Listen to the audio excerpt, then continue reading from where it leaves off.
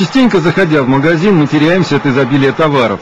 Хочется порадовать себя и близких чем-нибудь вкусным. Или, по крайней мере, не ошибиться, чтобы семейный ужин не завершился в инфекционном отделении районной больницы. Но привлекательная упаковка, доступная цена и аппетитный вид отнюдь не гарантируют качество продукта и его безопасность для нашего здоровья.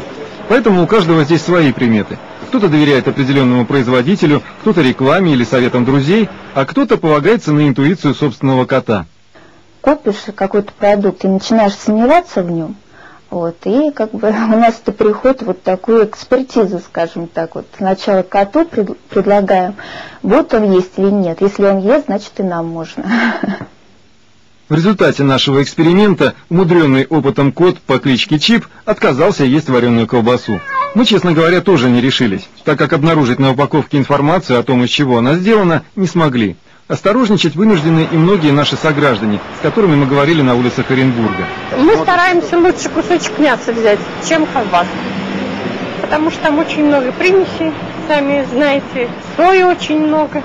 Единственное, чем пенсионеры выезжают, это вот э, держим сад огород. Там свое.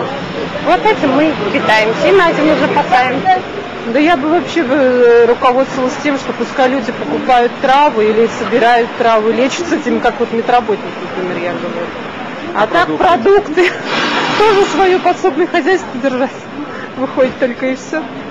По признанию продавцов, наибольшим доверием сегодня в российских регионах пользуется продукция местных предприятий. Конкурентной борьбе производители все чаще вынуждены делать акцент на использовании натуральных компонентов. Наш коллектив горд тем, что мы действительно делаем чистый продукт. Вот если вот сейчас видите, пельмени мы делаем, э, яйцо не порошок натуральное, мука. Если в пельменях написано, действительно соответствует. Вот этим мы горды, этим мы выживаем, этим мы конкурентоспособны.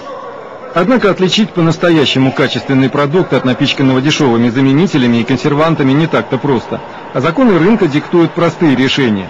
Если уж удается добросовестным производителям пробиться к покупателю, то чаще, как говорится, не благодаря, а вопреки. Ведь никаких преимуществ на российском рынке они не имеют.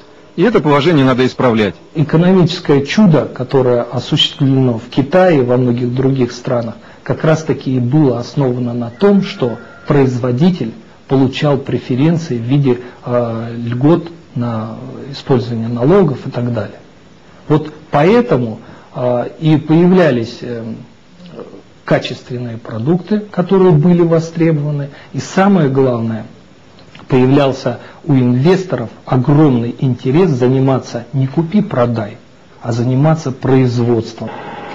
Владимир Смоленский в составе большой группы депутатов сегодня работает над поправками к закону о качестве и безопасности пищевых продуктов. В первую очередь парламентарии предлагают восстановить норму, отмененную 122 законом, вернуть местной власти право контролировать качество продуктов. Помимо этого ставится вопрос об ответственности участников рынка. Ведь, признаемся, крайне редко можно услышать о решении лицензии, о закрытии магазина, кафе или предприятия, по вине которых пострадали люди.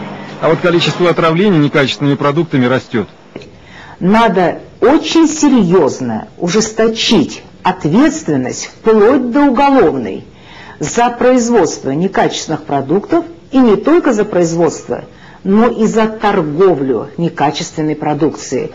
Дополнительные гарантии безопасности должны дать и технические регламенты, работа над которыми ведется уже не один год.